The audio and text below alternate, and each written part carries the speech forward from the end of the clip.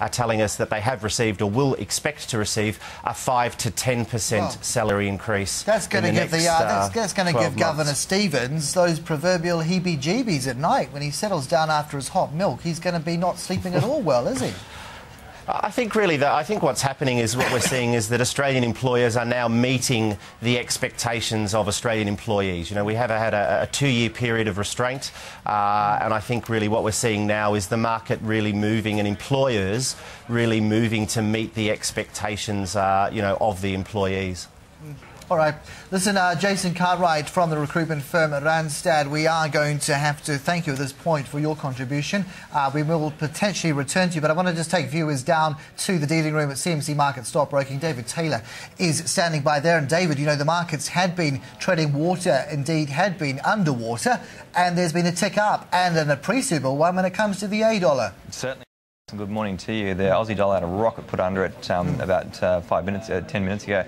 Basically speaking, uh, the jobs numbers has done uh, quite a, has given the Aussie dollar quite a bit of boost, simply on the back of the fact that it shows that our economy is relatively buoyant compared to the other developed nations, and of course probably raises the chances of a rate rise coming up uh, in November. So obviously rates on hold in October, but if the uh, balance of uh, you know uh, balance has shifted at all, it's shifted to the upside for a November rate rise, and the things uh, that are supporting the Australian dollar are really starting to move into line now. Higher commodity prices, higher gold, obviously that interest rate differential between us and the United States looking to widen, and of course uh, people looking to invest in Australia and Australian companies, Well. But is that but is that spike is that spike saying that money markets have now convinced themselves that November is a no choice position for the Reserve Bank that this that this effectively they have to be ahead of the curve. They know that that print implies the whole slew of inflationary pressures are live Well, remember what we said a couple of weeks ago, a few weeks ago now, that in terms of the way that price pressures were moving in the economy, but there was less focus on the housing market and more focus on the terms of trade and labour costs. So if the Reserve Bank's looking at anything uh, that will be driving prices up, one of those factors will be labour costs, and at the moment it looks like there will be a squeeze. And uh, given the fact that we saw a drop-off in uh, part-time employment and a pick-up in full-time employment, there's no doubt that uh, the Australian employment market is going to pick up. Uh, I imagine job ads will probably pick up from here as well, and we're going to see a significant upwards pressure on wages, and that will contribute to inflation. Now, the Reserve Bank is, of course, worried about the international macroeconomic environment, and that really hasn't changed too much in the last, uh, I guess, few months. Really, we haven't had any any major problems out of left field. I imagine, if anything, uh, the risks to inflation rising above what the Reserve Bank is comfortable with today look a little bit stronger. does this in a sense vindicate doing nothing in October or does it suggest maybe in hindsight uh, they could have gone and they could have just been uh, even further ahead of things Well, again, I'm not an economist, but I'm happy to comment on where I think the Reserve Bank is going and how the markets are responding Yeah. to that, certainly. And at this point, I was perfectly happy to see the Reserve Bank uh, sit on the sidelines for October. In my view, uh, Australia is very exposed to the international environment, and all we need is a, uh, a left field, um, you know, uh, exogenous shock coming from um, international uh, the international environment, whether it be through sovereign debt issues in Europe, whether it be through a slowdown in China or some sort of uh, emerging asset bubble bursting or the United States. There's plenty of things that could go terribly wrong, and our market would really suffer on the back of that. We wouldn't want to see the Reserve Bank have to ratchet back rates in, in a quick way because that would be very uh, difficult for our economy to handle. So certainly, the international macroeconomic macroeconomic environment is risky in my view, to be holding back until there is certainly uh, more pressure applied to inflation because we're really only getting pressure applied at the moment through that international sector. The rest of the economy is still trying to motor along. So if there is uh, that pressure coming through from wages, which we probably can uh, read into from these figures, Yeah. then yes, November would be a, a good time to raise rates. Remember, it was February next year that we were looking at originally. It's very interesting how the market, uh, in, in, in releases gone by, has uh, anticipated the outperformance of this series. It's priced it in, but from the numbers we see, the turnaround on the 200 and indeed the A dollar spike, it looks as if it did catch a lot of people off guard. David, appreciate it. My pleasure. David Taylor there from CMC Markets Stockbroking. Let's return to my panel to the minute. Of course, I've got with me uh, Simon Boulton from Aequalis Consulting and uh, no less from Melbourne, Jason Cartwright from the recruitment firm Randstad. And Jason, if you can just come back into play now on this one. Uh, component, uh, another piece of this jigsaw must surely be the state by state breakdown. Are you hearing anything yet about uh, the spread of jobs in these latest set of numbers?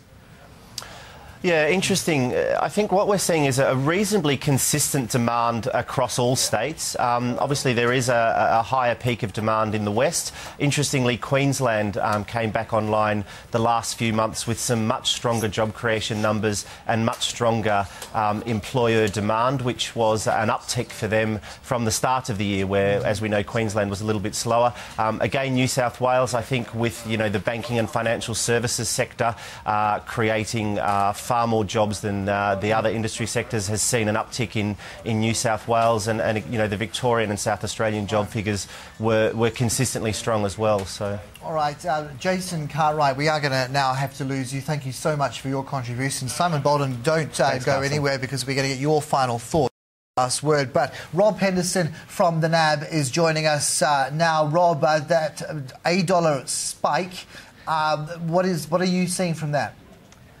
Well, it's interesting, Carson. Not only is the A dollar spike, but the three-year bond futures are back at the levels they were on the morning of the RBA board meeting. So the big sell-off we saw after the RBA didn't increase interest rates completely turned around now. So the market's back to looking for near-term increases in interest rates from the RBA, and obviously this is a very, very strong number and it does increase the chances of an interest rate hike in Australia. Lots of talk of quantitative easing overnight, Carson. So the outcome here, of course, is positive for the currency, and that's what we've seen this morning. Of quite a spectacular jump there on the announcement in the currency, smashing through that 98 cents level and just keeping going.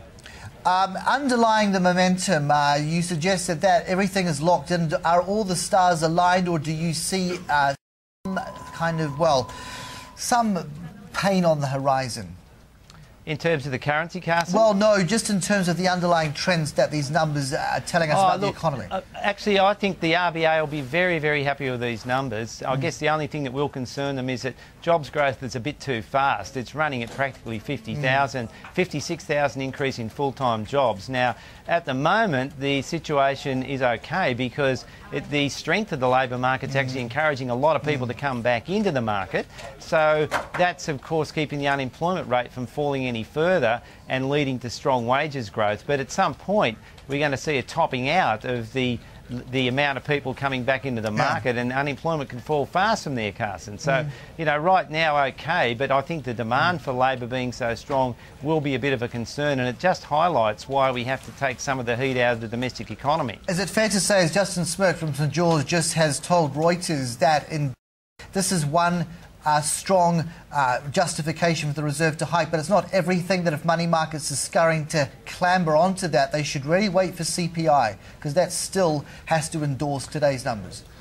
Look, I'm not sure about the CPI. I don't think the situation where the CPI at the moment is, is the issue, Carson. Mm. Um, the issue is where the CPI will be in one or two years' time. And if we get this sort of labour market growth continuing ahead, we'll see a CPI well above 3%, and I'm referring to the underlying CPI there. Mm. Um, that's a real worry for the Reserve Bank, so I don't think the CPI particularly is an important piece of information. Now, obviously, if it turns out higher than the median forecast, which is around three quarters of a percent, then that is going to be a real problem for the RBA because it means that the downturn in inflation's already finished. But we don't think it will be a higher one, and there's no evidence to suggest it will. So, mm.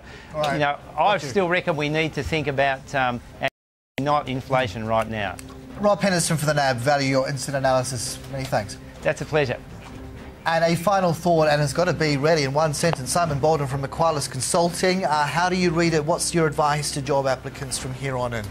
Look, Carson, I think it's been a, a, complete shift. You know, 12 months ago we had uh, no jobs with too many people applying for them. We now have too many jobs and a growing number of jobs and less people being available to take them. Right. That is going to create competition, which in turn will create wages rises, which is where I think that inflationary right. scaremongering can come from. Simon Boulton from Aequalis, so well put. Thanks for your contribution and to all the rest of the panel that on the day that uh, those numbers beat the street, the dollar spiked and the markets turned positive. Stick with us, continuing coverage through this afternoon.